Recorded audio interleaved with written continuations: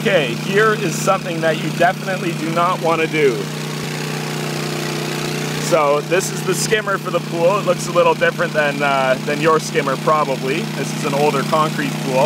Um, but what you're looking at down there is a couple of uh, concrete or a couple of chlorine pucks. Now the problem is, is that when the pump is running, it draws water from the skimmer, which is the port directly below this. So those ports there draw water right back to the, the pump.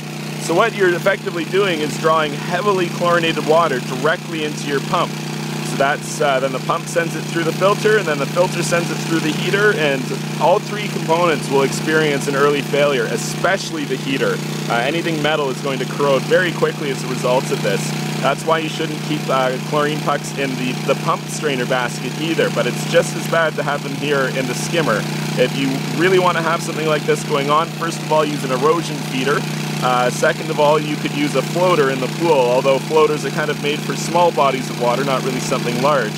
Um, in this case, though, there's there's just no reason to have this. There's already an erosion feeder on this pool, so that's where you should put the, the chlorine pucks.